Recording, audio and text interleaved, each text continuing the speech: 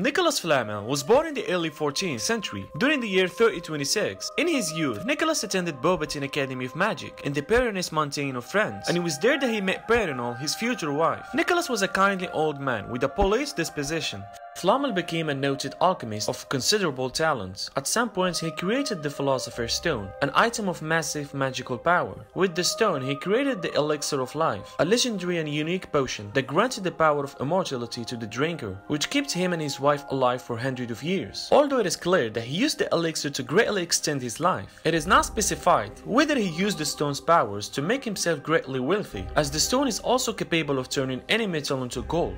Around the year 1720s, Nicolas was implied to have been active in the field of either warfare or martial arts. By the next decade, however, he had become inactive in this field. In the 1819s, Nicolas first came into contact with the brilliant Albus Dumbledore. In the year 1927, Flamel was still living in Paris when Albus Dumbledore began to take action to stop Gellert Grindelwald. Nicolas Flamel as his friend decided to help him in this, and for this reason, he agreed to lend his apartment to Newt Scamander and his friends. If the situation required, when Yusuf Kama, who tried to imprison them, fainted, Scamander together with Tina and Jacob decided to take advantage of the invitation. Then on the spot, they removed the water dragon parasites from the Kama's eye, and Newt and Tina went to the French Ministry of Magic. So when Nicolas returned home, he found there only the unconscious Yusuf and sleeping Jacob. Kowalski mistook Flamel for a ghost, to which he replied that he was an alchemist and therefore immortal. Kowalski claimed that he did not look more than 375 years old. Jacob accidentally broke Nicolas' hand shaking it. After the greeting, they both came to the crystal ball, which showed among other things that Grindelwald was about to make a gathering for his followers at the Lestrange grave. They also saw Credence Barebone and Nagini hidden there and Queenie. When Jacob saw the woman, he asked the old man where the place in the ball was located, then quickly ran out of the apartment, first asking Nicolas to look after Kama. However, when Jacob looked at the place where Yusuf should lie, it turned out that it was already empty, making the request as nothing.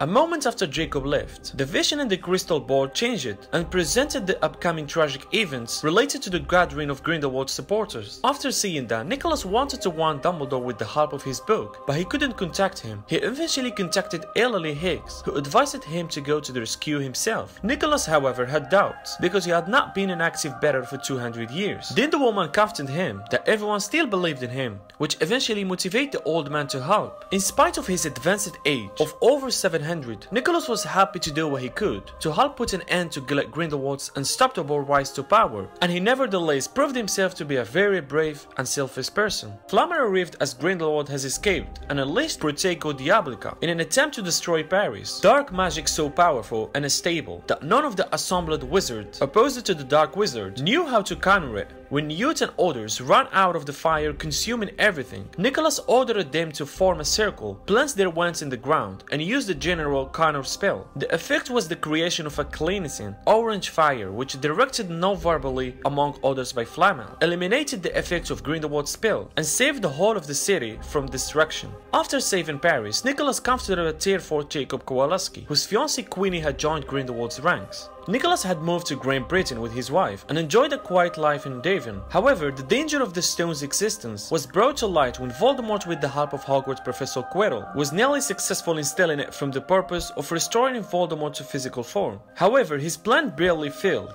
The faith and trust he had in Dumbledore is evident and highlighted by his allowing Albus to put the stone in Gringotts Wizarding Bank in London to prevent Lord Voldemort from stealing it, and then moving it to Hogwarts School of Witchcraft in Wizardry for further protection later the same year. Nicolas agreed, along with Dumbledore, that the stone should be destroyed, with enough elixir to set his affairs in order. It was expected that Flamel and his wife would die shortly thereafter, as their death drew near. Harry took the news as terrible, but Dumbledore told him that their death would be like going to bed after a real really, really long day, implying that when Nicolas and his wife passed on, they accepted their death with dignity. His life became completely reliant on the elixir and the stone used to brew it. Once he agreed to destroy the stone and depleted the potion, Nicolas died. Nicolas, by the age of 719, ultimately viewed death as the next great adventure.